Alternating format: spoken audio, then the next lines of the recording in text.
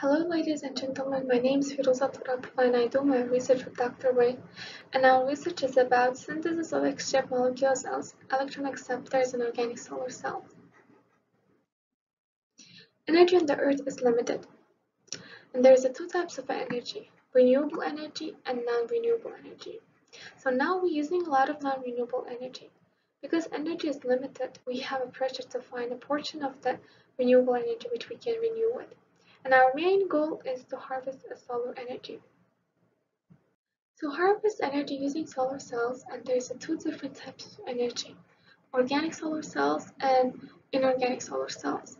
Unfortunately, the cons of the organic solar cells are not efficient.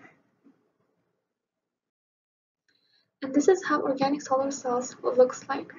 It looks like a sandwich. The top part is cathode and bottom part is anode. And inside of this sandwich model, we have donors and acceptors. And our main focus is acceptor.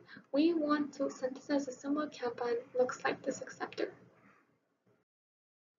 And the work was done by Professor Whittles, and we're trying to design a new acceptor based on his work and better than his profits.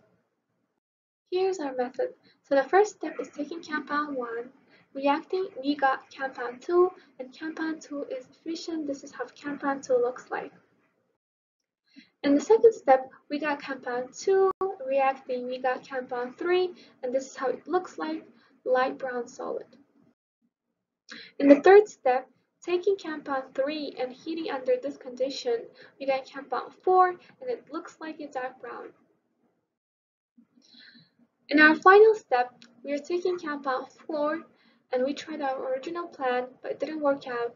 But instead, we got compound 5 and reaction yield was improved to 87% by extending reaction time to 3 days.